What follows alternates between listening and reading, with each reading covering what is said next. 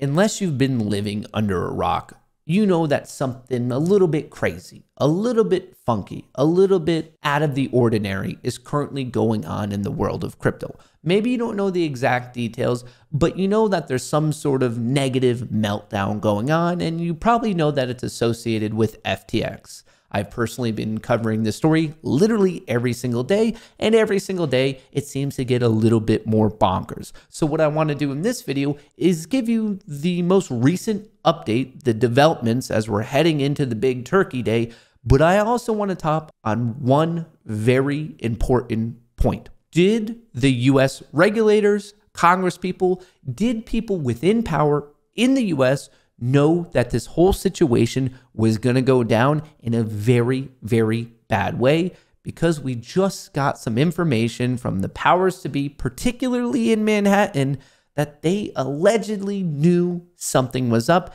Here's exactly what you need to know. Bitcoin drops to a one week low, Ether slides 7% as FTX collapse ripples through the crypto market. Unfortunately, this is the story that just keeps on giving, and it's the exact same thing with the crypto contagion that keeps on spreading. Just for a little bit of framework around this conversation, as I'm filming this, Bitcoin just broke through a very important support in the mid 15,000s, and Ethereum is currently trading just above 1,000, specifically 1,100. But as you can see, it's also at a very important support level.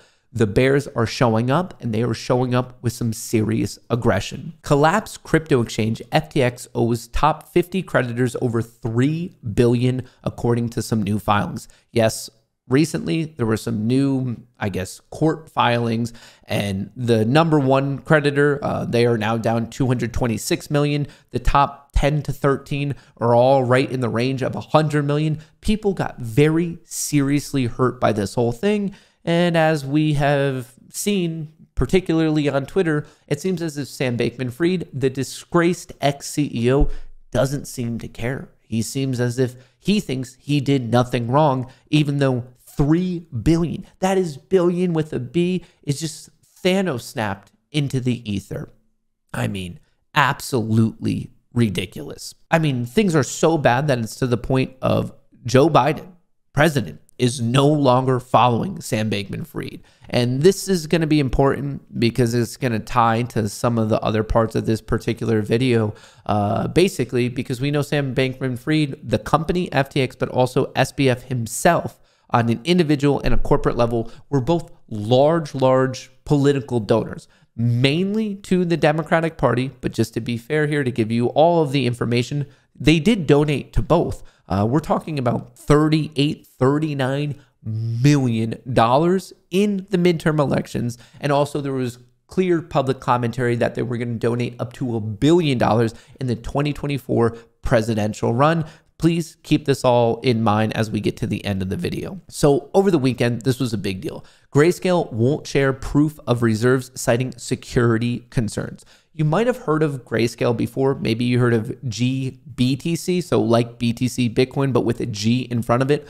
What you need to know, particularly here, is Grayscale was the first company that set up a trust. It's like a fund where you would invest in the trust and then the trust would go out of their way to buy Bitcoin for you. So it wasn't direct ownership, but it was kind of the prelude to hopefully creating a Bitcoin ETF. Uh, not the exact same thing. It was a trust, not an exchange traded fund, but very similar. I just wanted that out there because a lot of these big players had GBTC and people were kind of concerned about it of like, well, hang on, are we safe? And then all of a sudden, Grayscale was like, no, no, no, we are not going to give the proof of reserves. As in, people were then all of a sudden saying, whoa, whoa, whoa, whoa, whoa were you not buying Bitcoin with our money? Is this another like crazy thing going on? Grayscale cites security concerns for withholding on chain proof of reserve. So this story started to develop. And if you looked at what was going on with GBTC, it was just going down. And it was going down very, very rapidly because it was just another situation in crypto that, like, wow, the contagion spread and it's just taken down another large player. But then almost out of nowhere, early this morning, Coinbase had a post that said, I know this is a little small, so I'll read it to you very quickly. The digital assets underlying each Grayscale product have their own on chain addresses as we use client by client custody segregation. The digital assets underlying each Grayscale product always belong to the applicable Grayscale product. So they're saying Coinbase came out almost in defense of Grayscale and said, no, no, no, we're good. They must truly not be showing you proof of reserves because they're worried about security. But other than that, like Coinbase was saying, hey, they are good to go. So right now, that's very much like a shrug of a situation. People are kind of wondering who has the money, who doesn't have the money. A lot of confusion there, but it's leading to some other big players who allegedly had a lot of GBTC. Now crazy things are going on. So just last week, Genesis, which you've probably heard me talk about because they're related to Gemini. Gemini had an earn program that was being run by Genesis, and Genesis also was on the hook with FTX for about 170, 175 million dollars. Well, last week on November 8th, Genesis said, with regard to today's market events, we have managed our lending book and have no material net credit exposure. In addition, Genesis has no exposure to any tokens issued by centralized exchanges. We continue to meet the needs of our clients around the world across all products. So that was just on November 8th. And then bada bing, bada boom, we're hit with this today. Crypto brokerage Genesis warns of bankruptcy without funding. This happened within about the past well hour now if you're watching this live with me. And then this is just getting so wild. Just in, we have no plans to file for bankruptcy imminently. I mean, you could fairly be thinking right now watching this, what in the world's going on? At first, they say they're fine. Then they say that they might have to file for bankruptcy. In between that, they're like, okay, we have to raise a billion. And then honestly, in between all of these stories, they're like, no, we don't need a billion. We need 500 million. And then they say, yeah, we're going to probably go to the bankruptcy. And then they're like, nah, we don't have any plans to file for bankruptcy imminently. Honestly, it's a fair question of, are they just saying, oh, no, no, no, we don't mean tonight. We just mean tomorrow. I mean, this is so, so wild. So obviously, many players have fallen in this whole thing. And Genesis is one that appears to be on the current like chopping block, but I don't know there might be a speed run from Silvergate. From those of you who don't know about Silvergate, there's a lot of crypto firms, and in the US, there's pretty much just two main crypto banks. You have Silvergate and you have Signature. With respect to Silvergate, you have the Silvergate Exchange Network, SEN, which basically just allows all these crypto firms to kind of move money easily. But once again, Silvergate, Signature, major banks. For right now, we're talking about Silvergate, which is a crypto bank. And like I said, this might be the one who's trying to race Genesis to the line of just meltdown in the world of crypto. I want to quickly play this for you uh, from Marc Cohodes. Uh, I've had the pleasure of interviewing him before. And honestly, with the craziness going on in Silvergate, I am going to invite him back on. But I just want to play this for you because this might be the next player that is no longer going to be in existence. And there's something else that, that came to my attention on Friday that I want to warn people about, and it's a stock and it's called Silvergate and it's symbol SI. And they're the financial so called bank that allows all these transfers and things to happen. And they have about $14 billion with a B in deposits, and they're largely from these offshore entities and get a load of this. They transfer last year $1 trillion between these offshore entities and customers. $1 trillion, off a 14 billion deposit base. And this name was brought to my attention by who I think is the best bank analyst on the planet, and that's Porter Collins of the big short fame. And he thinks they're in the process right now of having a run on the bank. And they put out some bogus press release on Friday saying that FTX was only a billion dollars of their deposits and they didn't have any loans to them. And the and the stock went up after ours Friday. But as Porter said to me, it's a deposit story. It's not a loan story. If they lose all their depositors, there's going to be a run on the bank.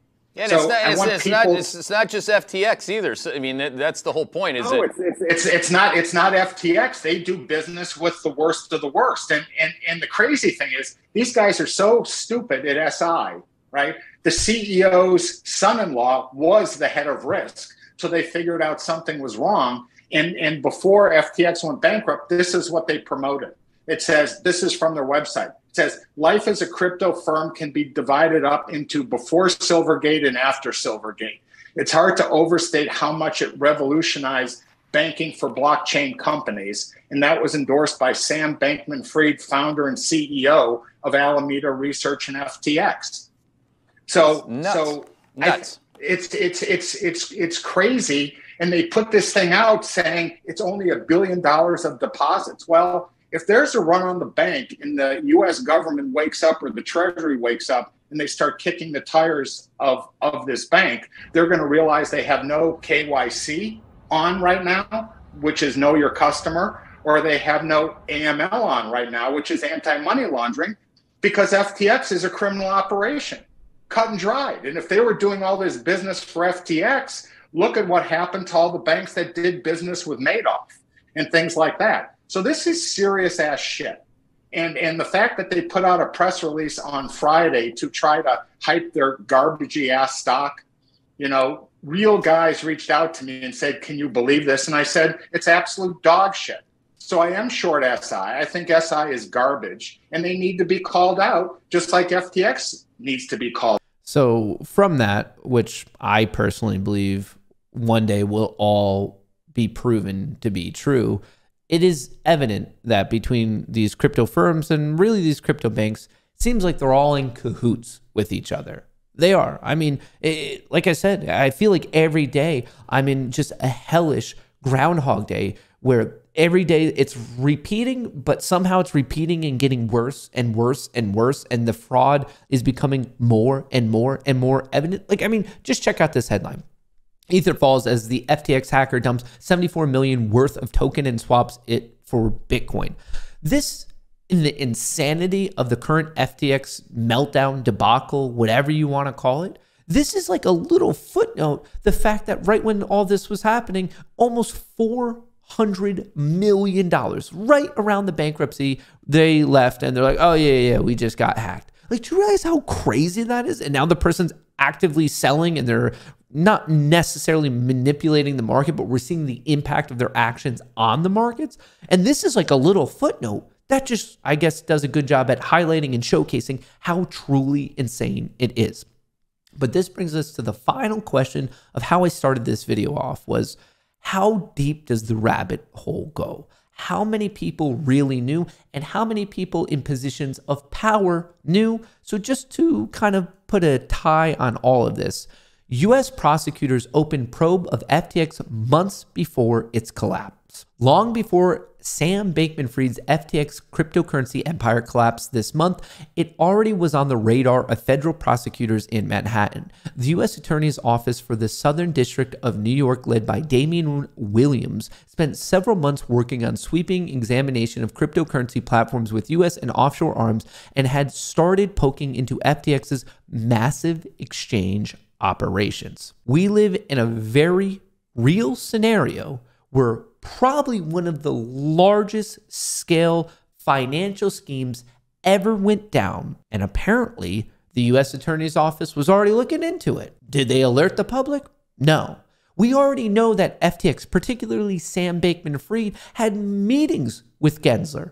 Did anything happen there? No, in fact, we have people within Congress accusing Gensler of helping FTX get a regulatory monopoly. This is so insane. They met multiple times. It's on the chairman of the SEC's calendar that they met. Gensler earlier this year said, Hey, people should be a little bit worried about crypto. It looks like people who are running exchanges are trading against their own clients. So, a little bit of a warning there, but the people who had access to the information, who could kind of look into the black box and make sure that everything was running above board, where were they? Where were they in this entire thing? Now, obviously, I don't know, but I can let my imagination run. And where it runs to is the deep, deep connection between what was going on with FTX and our elected politicians. We are talking about millions and millions being donated. We are talking about elections that were running on the money that came from FTX, which we're now finding out was inherently stolen from its clients. I pray that these regulators and Congress people and really the watchdogs for all of us, us average Joe type of people, aren't so corrupt that they turned a blind eye to it. But I think at a certain point, we maybe have to digest reality that that could be it. That is a very feasible avenue for this to be, I guess, the insanity that is currently unfolding in front of us right now. It's a little bit maybe too deep into the rabbit hole, but also that doesn't necessarily mean that it's wrong. And because of that, I want to know your thoughts. Please let me know in a comment below. Do you think that the only reason this got so bad was because the people who were supposed to protect us was turning a blind eye? Or do you believe that they simply truly did not know and it's more of an embarrassment that they couldn't catch up and recognize what was going on right under their nose? Please, please let me know.